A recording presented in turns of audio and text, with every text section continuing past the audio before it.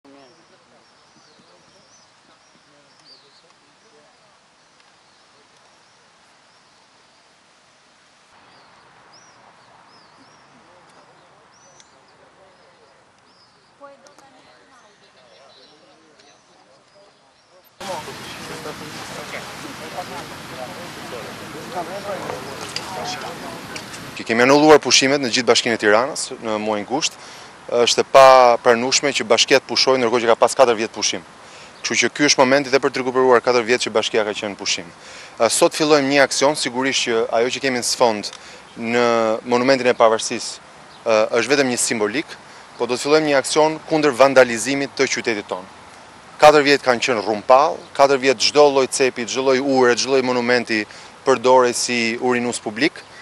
Dua të sqaroj gjithë qytetarët, kush ka vendosur të jetojë në Tiranë duhet të kuptojë që nuk urinohet në ambiente të kësaj natyre, sidomos kur janë simbole kombëtare, pavarësisht se çfarë kundërshtish mund të kemi për shijet e monumenteve të tilla, pavarësisht se gjysma e monumentit 200 mijë dollarë ende nuk është paguar nga qeveria e kaluar dhe Bashkia e Tiranës që porositi monumentin, këto nuk janë arsye që edhe me këto rezerva ne mos ruajmë monumentet që kemi.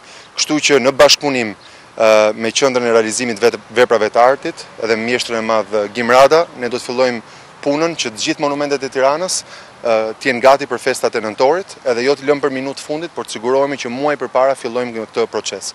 Një nga arsyet dhe dy drejtorët tanë, edhe drejtori i Policisë Bashkiake, edhe drejtori i INUV-it janë këtu, është se ky është vetëm fillimi i një procesi kundër vandalizmit të qytetit. Bashki do të thotë bashkë. Kush ka vendosur të jetojë në qytet, do të thotë që do ta ndajë hapësirën me të tjerët. Pra, ë sjellja prej trevjeçarësh, ku ne duhet të mësojmë qytetarët ku bëhet çiçi, ku bëhet kaka, është një sjellje e cila është fyese për gjithë ata që thonë që jetojnë në Tiranë dhe i trajtojnë proceset si si gjithë punët publike, si vende ku urinohet. Për gjithë ata që nuk e mbajnë dot në Tiranë, kemi kemi dy banjo publike këtu, kemi edhe dy të tjera në fund të bulevardit, po në këtë qytet do duhet mësohet edhe ku kryhen nevojat personale, edhe si ruhen hapësirat publike. Dhe Njoftimi që bëjmë sot, në bashkëpunim edhe me Policinë e Shtetit, Policia Bashkiake, për çdo njeri që vandalizon qytetin do të procedohet penalisht.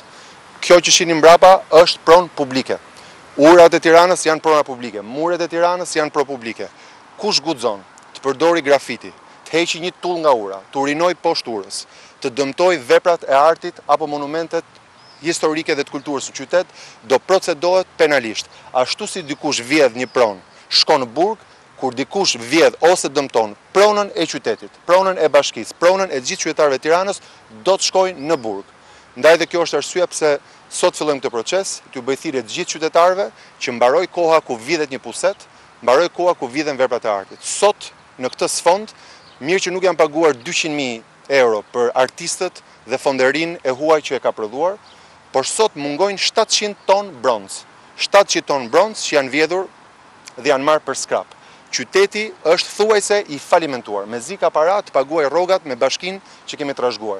Ne nuk kemi para sot as të blejmë bronz shtrenjtë, as të paguajmë borxhe, të shpenzimeve qesharake që u bënë për njëqindvjetorin e Pavarësisë. E vetmja gjë që mund të bëjmë është të ruajmë këto që kemi. Ndaj, ju kërkoj gjithë qytetarëve bashkëpunim, nëse shikoni akte vandaliste, ju lutem telefononi Policinë e Shtetit ose Policinë Bashkiake, po nga dita e sotme ndalohet rreptësisht dhe do procedohen penalisht kushdo që vandalizon punët publike, veprat e artit dhe çdo aset që është pronë e Bashkisë Tiranës, edhe pronë e qytetarëve të Tiranës.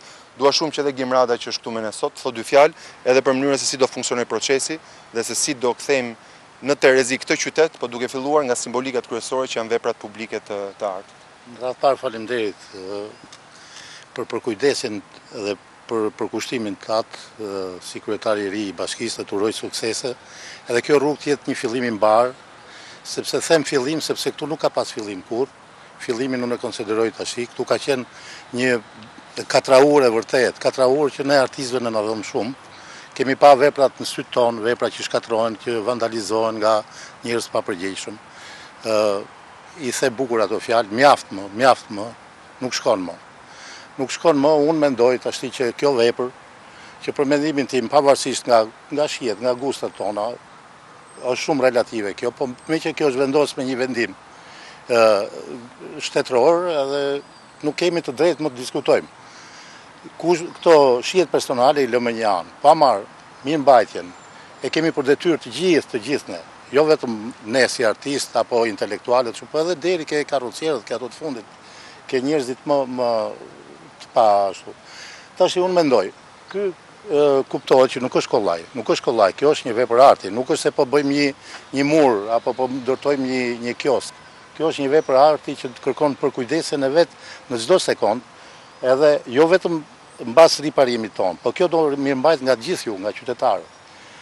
Tashi për sa na takon ne si, si ndërmarrje e veprave të artit, kjo është një sipërmarrje shumë e madhe, siç tha edhe Erioni, kjo është derdhja shtetit, ne nuk i kemi ato kushte, po mendoj që me përkushtimin tonë, me ca ustallarë të mirë, të vjetër që e njohin mirë këtë punë, besoj se do arrijmë edhe ne të t'i dalim në krye kësaj pune, edhe me munde, me sakrifica, besoj do të qytetarët shumë shpejt, do kenë një monument pothuajse të ri. Për këtë...